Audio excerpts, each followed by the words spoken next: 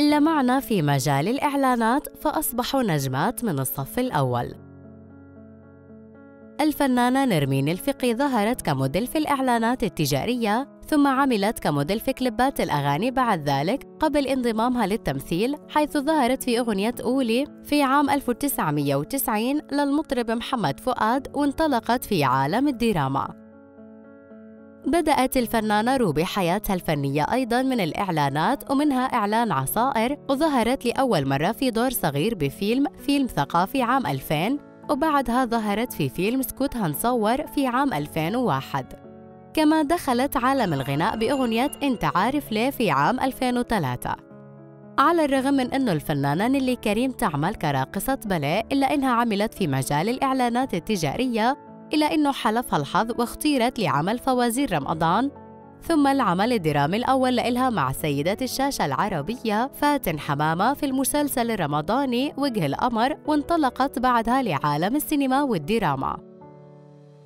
عندما كانت في الخامسة عشرة من عمرها بدأت الفنانة ياسمين عبد العزيز في تقديم الإعلانات التجارية ودخلت عالم التمثيل لأول مرة في مسلسل امرأة من زمن الحب عام 1999 وحققت نجاح كبير وبعدها انطلقت إلى عالم النجومية. بدأت الفنانة غادة عادل مشوارها الفني من خلال الإعلانات ثم موديل في الكليبات ومن بعدها دخلت إلى عالم التمثيل وتألقت وأثبتت موهبتها. الفنانة داليا البحيري لقبت ملكة جمال مصر في عام 1990 وظهرت في عدة إعلانات تجارية وعارضة أزياء وانطلقت بعدها لعالم التمثيل في عام 2000 بأول أفلامها علشان ربنا يحبك إلى أنه نجاحها الأول كان في عام 2002 بفيلم محامي خلع.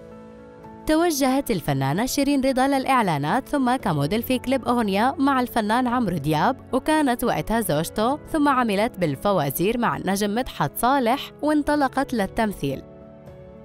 ظهرت الفنانة اللبنانية هيفاء وهبي في السادسة عشر من عمرها وقامت ببطولة إعلان مكرونة دانا وحقق نجاح كبير وكان السبب في شهرتها. ثم عملت موديل في أغنية ارضى بالنصيب مع جورج وسوف.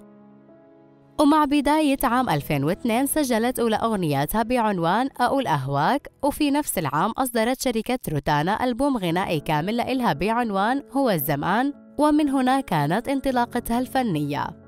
بدأت الفنانة رانيا يوسف مشوارها كعارضة أزياء وموديل إعلانات وعملت رانيا كعارضة أزياء وفتاة إعلانات ثم ظهرت في عدد من الأدوار بالتلفزيون والسينما وكانت أول بداية فنية حقيقية لإلها في مسلسل عائلة الحق متولي عام 2001 وتابعت بعدها ظهور بعدد من الأدوار الناجحة.